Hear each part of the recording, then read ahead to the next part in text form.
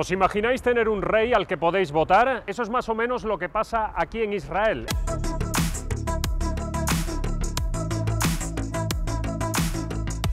Este 23 de marzo los israelíes podrán de nuevo votar por él. No tiene sangre azul, pero a Benjamín Netanyahu le conocen popularmente como el rey Bibi. Lleva 14 años en el poder y quiere más. Quiere ganar estas elecciones, las cuartas en apenas dos años. La clave está en este Parlamento muy fragmentado que obliga a negociar, a pactar. Ahora mismo hay representados 10 eh, partidos, pero pueden ser más. La mayoría se consigue con 61 escaños y siempre son necesarias las coaliciones de gobierno, a veces formados por cuatro o más partidos. Así las cosas, lo normal es que no se completen los cuatro años de legislatura.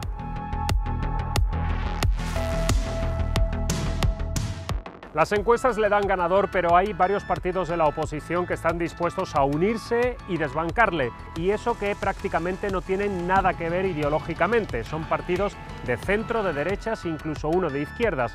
Pero Netanyahu también es un maestro forjando alianzas en su bloque ideológico, el de derechas y ultraderecha, y siempre contando con los partidos ultraortodoxos, que sacan tajada económica a cambio de sus votos.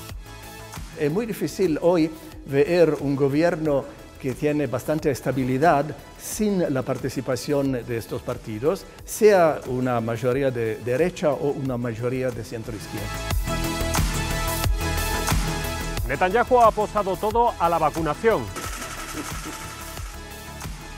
Es su baza y por ahora Israel es el país del mundo con más población inmunizada. Israel se ha convertido en un gran laboratorio al que todos miran Aquí sobran vacunas por las que se ha pagado mucho más que otros países. A cambio, las farmacéuticas consiguen los datos de los vacunados.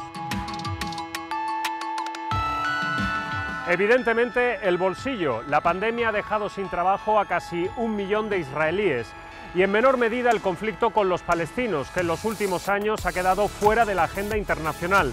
Bibi ya no tiene el cheque en blanco que le dio Donald Trump. Con Biden, la cosa cambia. Bibi, I'm not. I struggled uh, personally during the pandemic. A lot of other people did. And so this is really what's going to determine my vote, not, not getting the vaccine here. Es lo que muchos le echan en cara cada semana protestando en las calles. Consideran que Netanyahu, pendiente de juicio, es un corrupto y que ha polarizado el país como pocos. Razones más que suficientes para pasar página. Pero eso lo decidirán las urnas, o mejor dicho, los pactos políticos en los que, hay que reconocerlo, Bibi sigue siendo el rey.